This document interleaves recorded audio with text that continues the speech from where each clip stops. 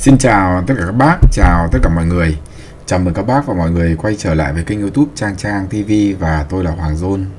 Bây giờ thì đang là 9 giờ tối của ngày 28 tháng 1 năm 2022. Và cáo với các bác rằng là cách đây khoảng hơn 2 tiếng đồng hồ thì tôi cũng đã chia sẻ ở trên trang cộng đồng của mình một cái thông tin mà nhiều bác bây giờ chắc cũng đã biết rồi bởi vì thông tin cũng đã được đưa lên rất nhiều tờ báo chính thống Vậy thì thông tin đó là gì mà chúng ta cảm thấy vô cùng đau xót, vô cùng chấn động và có thể nói rằng là vô cùng buồn bã về cái đạo đức và nhân cách nó xuống cấp đến cái mức cùng cực là như thế nào. Một thông tin và ngay trong cái ngày làm việc cuối năm có thể nói khi mà Bộ Công an đưa ra ấy, thì nó buồn lắm. Nó buồn lắm. Trên màn hình của các bác thì à, đó là một à, thông tin tôi đã đưa ra cách đây khá là lâu. Clip này thì làm lúc khoảng tầm 8 giờ tối và lúc tôi đưa ra là khoảng tầm 7 giờ kém, một trong người đầu tiên. Thì tôi có nói rằng thế này, khởi tố một loạt thật đáng buồn vì chúng ăn không từ một thứ gì, kể cả nỗi đau đồng bào. Và kèm vào bước đó, đó là một bức tranh à, có thể nói rằng là như thế này. Vì cộng đồng có những chuyến bay phải dừng cất cánh, nhưng vì đồng bào vẫn có những chuyến bay mà chúng ta chào đón. Để không ai bị bỏ lại phía sau và mừng trở về nhà. Họ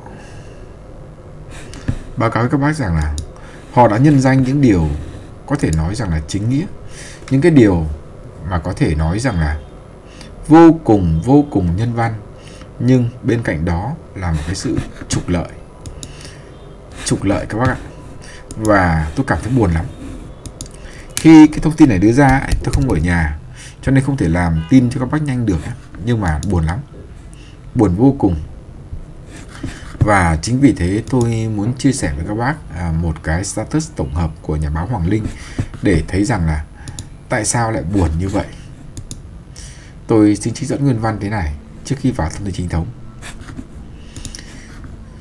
Đường về quê xa lắc lê thê, tiếng thét đau thương trên những chuyến bay giải cứu. Sau vụ Việt Á, tôi đề nghị Bộ Công an, Bộ Ngoại giao vào cuộc để điều tra cái gọi là chuyến bay giải cứu. Có vẻ như có sự bắt tay giữa hãng hàng không, sứ quán và nhiều cơ quan khác làm đội giá gấp nhiều lần. Muốn về Việt Nam người Việt chỉ nhau cách đi ít tốn kém hơn, nhưng quá nhiều rủi ro, đi qua ít nhất 5 nước, chặng cuối là Campuchia để về Việt Nam. Báo chí đã thông tin nhiều, nhưng tôi muốn cộng đồng lắng nghe tiếng bi thương, tiếng khóc bi thương của người Việt trên những chuyến bay ngạo nghễ tự xưng là giải cứu, nhưng thật ra lại là bóp cổ đồng bào. Tổng hợp từ các diễn đàn và bạn Bích Hà Trần chia sẻ của cộng đồng. Ngay ở thời điểm này, giá vé giải cứu thấp nhất là 1.200 euro từ châu Âu về và bằng giờ năm ngoái. Lãnh sự duyệt danh sách giá ngầm của dịch vụ 1.000 đô la Mỹ và vé máy bay là 3.000 đô la, 3.000 euro cho một chiều. Cộng tiền 2 tuần cách ly, thời này là 120.000 cho một ngày ở doanh trại quân đội. Mấy ngày nay xôn xao thanh tra vì cũng một phần dân Việt Nam nhanh trí mua vé công khai chặng gọi rằng là chặng FRK Phnom Penh. Sau đó, đi xe đò về biên giới Việt Nam và địa phận chịu cách ly khách sạn rồi thả về thành phố Hồ Chí Minh. Tất cả chi phí chỉ 1.000 cho đến 1.000 đô la Mỹ cho hai chiều. Vậy, hai chiều vậy mới thấy không đâu tệ như NN khi để một con đường về nhà duy nhất bị chặn bằng cơ chế cho những kẻ khác trục lợi. Campuchia mở lại cho bay nhờ. Đó. Ừ. Các bác đợi tôi một tí.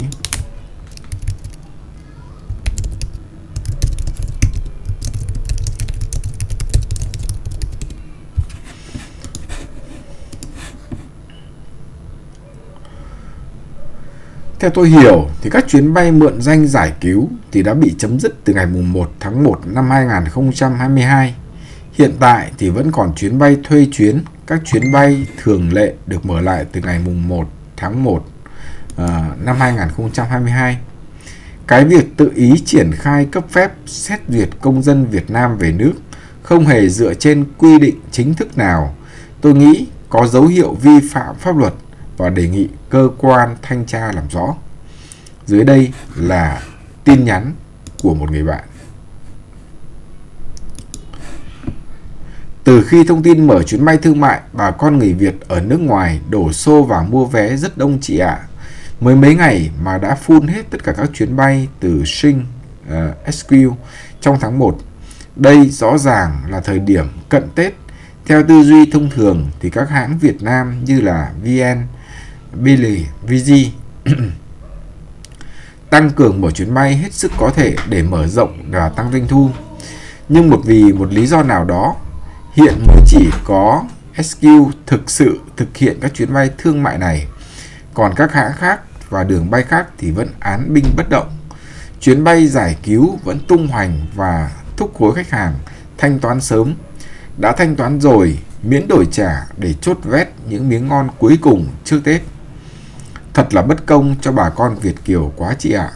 Họ đã phải chịu đựng 2 năm dòng dã xa quê rồi. Cả các em sinh viên du học, Tết này lại không được về. Chuyến bay giải cứu thì liệu có chìm xuồng mà tại sao người Việt Nam có quốc tịch trở về chính quy hương mình lại bị xét duyệt? Tiêu chuẩn xét duyệt là gì? Do ai đưa ra quy định cũng phải được làm rõ. Sau ở Singapore, để được chuyến bay giải cứu giá ngất ngưởng phải đưa ra tới ba cái cửa. Hãng hàng không là một. Ban liên lạc người Việt Nam ở Singapore là cửa thứ hai và Đại sứ quán Việt Nam là cửa thứ ba. Liệu ban liên lạc giữ vai trò môi giới trong việc kiếm tiền dưới gầm bàn không? Trưởng ban liên lạc lại chính là chủ của một đại lý bán vé và công ty du lịch tại Singapore. Ừ, hóa ra tất cả là lừa một cửa để kiếm tiền chia nhau. Hồi tháng 12, khi vào trang của đại lý đặc biệt được lựa chọn để xin thủ tục và phân phối vé máy bay giá cao ngất ngưỡng của chuyến bay giải cứu cho người Việt Nam về chính sách nước mình. Theo tôi nhớ, giá công khai thì được đăng vào quãng khoảng 3.800 đô la Mỹ. Đó, 3.800 đô la Mỹ. Và tới 6.800 đô la Mỹ cho một chiều sinh Vân Đồn hoặc sinh Hà Nội. Chuyến bay thuê chuyến có mức giá tương tự và giá này có lẽ chưa bao gồm chi phí dưới gầm bàn. Trong khi chuyến bay chở chuyên gia Singapore Airlines, người Việt Nam bị cấm về các chuyến này không thể hiểu tại sao được. Thì chiều đi vẫn được. Đó, kỳ lạ chưa? Chuyến này rẻ hơn cả giải cứu và thuê chuyến rất nhiều, chỉ từ quãng khoảng 400 đô la cho đến 1.180 đô la Mỹ. Chuyến bay của hãng hàng không phải có người môi giới giúp xin phép về nước rồi là phải thông qua ban liên lạc người Việt Nam tại Singapore. Ơ, sao nhiều cửa thế? Nhiều cửa thì dễ ép khách phải chi nhiều tiền hơn, chứ làm sao nữa. Tất cả các nơi đang hô hào dịch vụ một cửa, trong đó ở Singapore chỉ để được trả cái khoản tiền cao ngất ngưởng trên chuyến bay được gọi là giải cứu phải thông qua tới 3 cửa Mỗi cửa ăn bao nhiêu? Những nhân vật cụ thể nào được tham gia vào việc chia chác đóng tiền của người Việt lúc đó khó khăn nhất phải được thật làm thật rõ. Hôm nay tôi loay hoay tìm lại mức giá của năm 2021 thì đã bị gỡ hết rồi. Hiện chỉ còn mức giá cho các chuyến thường lệ từ ngày mùng 1 tháng 1 năm 2022. Mà hơi lạ là chuyến bay thường lệ, ví dụ từ Sinh về Việt Nam, sao lại mức giá hạng Y cao nhất vẫn tới gần 4.000 đô la một chiều, cao gấp, cao gấp 3 lần của SQ. Giá chuyến thuê chuyến vẫn ngất ngưởng ở trên trời. Nhu cầu cao trước Tết, máy bay và các hãng đang thừa đầy, sao không tìm mọi cách để tăng chuyến tối đa lên nhỉ? Cái sự cạnh tranh nó đúng với luật cung cầu, cứ siết cầu thì giá cao là do cung nhiều. Nhưng siết cầu thì lại là cơ hội để trục lợi. Thực ra, điều tra và làm rõ sự việc dễ lắm. cứ chiếu theo danh sách từng chuyến bay rồi hỏi hành khách thông tin về hành trình gian khổ thì xin phép thủ khi xin phép thủ tục mua vé mua qua đại lý nào số tiền thực tế phải trả là bao nhiêu thì sẽ lần hết ra số tiền mà những người trục lợi chia chắc nhau để đút túi. Đại diện Bộ Ngoại giao có đến việc khách bị lừa khi mua vé qua môi giới, tức là các đại lý. Nhưng thông tin công luận cung cấp thì từ điển thông tin gửi đại sứ quán hầu như không được trả lời hoặc nếu có thì quá chậm để kịp trả tiền cũng như là mua vé chuyến bay để nối chuyến kịp. Các công ty được gọi là môi giới hình như đều được các đại lý, được các hàng không chọn lựa để cho phép phân phối vé đấy chứ. Thanh tra, điều tra là việc cần làm ngay để đem lại chút niềm tin cho xã hội để đừng đừng để sự việc bị chìm xuống. Hết trích.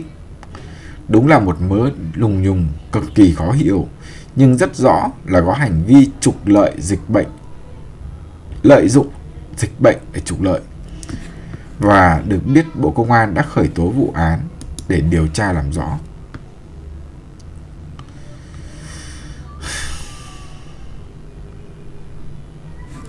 Xin chia sẻ các bác là như vậy. Đây là một câu chuyện vô cùng đáng buồn.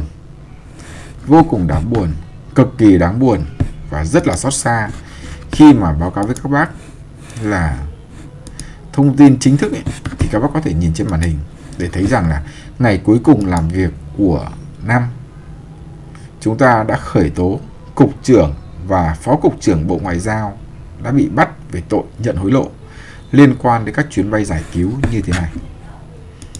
Khi mà chia sẻ với các bác thế này, tôi cảm thấy buồn lắm. Cơ quan an ninh và cơ quan an ninh điều tra Bộ Công an thì đã khởi tố bị can cục trưởng, cục phó của Bộ Ngoại giao cùng với hai người khác là cán bộ của bộ này để điều tra về tội nhận hối lộ. Và các bác có thể thấy từ trái sang phải là bà Nguyễn Thị Hương Lan, cục trưởng cục lãnh sự, ông Đỗ Hoàng Tùng. Đây. Là phó cục trưởng cục lãnh sự. Các bị can Lê Tuấn Anh và Lưu Tuấn Dũng là người còn lại. Trung tướng Tô Ân Sô, tránh văn phòng kiêm người phát ngôn Bộ Công an thì cho biết cơ quan an ninh điều tra đã khởi tố vụ án nhận hối lộ xảy ra tại Cục lãnh sự Bộ Ngoại giao. Hành vi sai phạm của các bị can xảy ra trong quá trình xét duyệt cấp phép cho các công ty thực hiện chuyến bay đưa công dân Việt Nam từ nước ngoài về nước nhằm trục lợi cá nhân. Tức là những chuyến bay giải cứu được các bác. Và cơ quan an ninh điều tra đã khởi tố bị can và bắt tạm giam 4 người gồm Nguyễn Thị Hương Lan, Cục trưởng Bộ Ngoại giao, Cục lãnh sự Bộ Ngoại giao, ông Đỗ Hoàng Tùng, Phó Cục trưởng, Lê Tuấn Anh là tránh văn phòng của Cục và Lưu Tuấn Dũng là Phó phòng bảo hộ công dân của Cục này. Có nghĩa rằng là Cục lãnh sự đã bị bắt gần hết. Các lãnh đạo gần như là bắt gần hết. Và các bị can bị điều tra về tội đó là tội nhận hối lộ. Nhận hối lộ nha các bác. Sau khi Viện Kiểm sát Nhân dân tối cao phê chuẩn thì cơ quan anh điều tra đã tống đạt các quyết định và lệnh nêu trên, đồng thời thực hiện khám xét nơi ở và nơi làm việc của bị can. Trung tướng Tuân Sô cho biết thì cơ quan điều tra đang mở rộng vụ án và xử lý nghiêm các hành vi vi phạm của các bị can. Và ở đây có một đoạn trích dẫn thế này. Trích dẫn thế này các bạn. Phần từ bôi đen nhé. Theo thông tin từ Bộ Ngoại giao cung cấp thì từ đầu tháng 12 năm 2021, kể từ khi dịch Covid bùng phát và các cơ quan chức năng trong và ngoài nước đã tổ chức hơn 800 chuyến bay đưa gần 200.000 công dân. Tôi nhấn mạnh với các bác rằng là 200.000 công dân. Chúng ta nhìn con số 200.000 này thì chúng ta có thể thấy rằng là mỗi công dân mà chỉ mất khoảng tầm 10 triệu đồng cho các dịch vụ môi giới thì chúng ta mất bao nhiêu tiền? 200.000 công dân Việt Nam từ 60 quốc gia và vùng lãnh thổ về nước an toàn. Tuy nhiên, thời gian vừa rồi thì có nhiều ý kiến phàn nàn về giá vé các chuyến bay nhân đạo để đưa công dân về nước quá cao so với bình thường. Trả lời việc này thì hãng hàng hãng bay khẳng định không đặt nặng vấn đề lợi nhuận, giá vé cao là do phát sinh nhiều chi phí khác. Và tại cuộc họp báo của Bộ Ngoại giao vào ngày 20 tháng 1 thì báo chí cũng đặt câu hỏi về công dân về nước theo các chuyến bay giải cứu phải trả số tiền lớn, thủ tục khó khăn và nghi vấn có trục lợi từ các chuyến bay giải cứu này. Có nghĩa là từ 20 tháng 1 thì báo chí đã đặt câu hỏi này rồi. Hôm nay là 28, nghĩa là cách đây khoảng hơn một tuần thôi.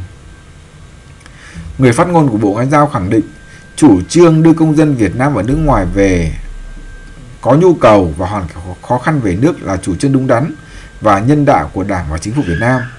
Điều này cần đặt trong bối cảnh trong nước có những thời điểm hết sức khó khăn do diễn biến phức tạp của dịch bệnh.